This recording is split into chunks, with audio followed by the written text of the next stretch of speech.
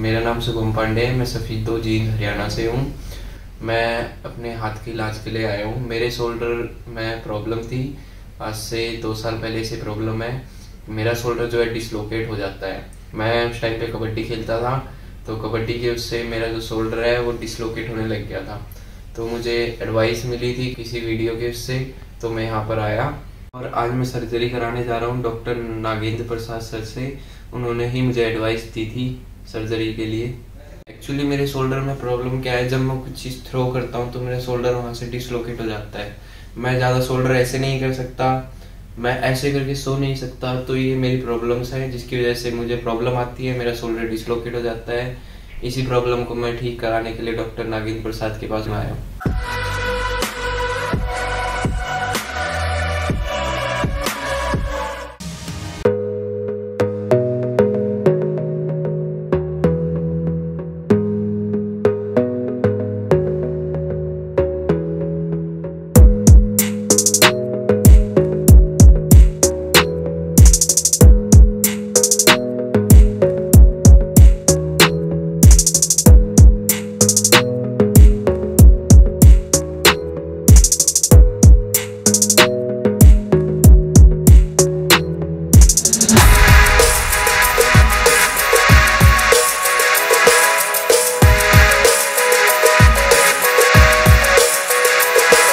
Peace.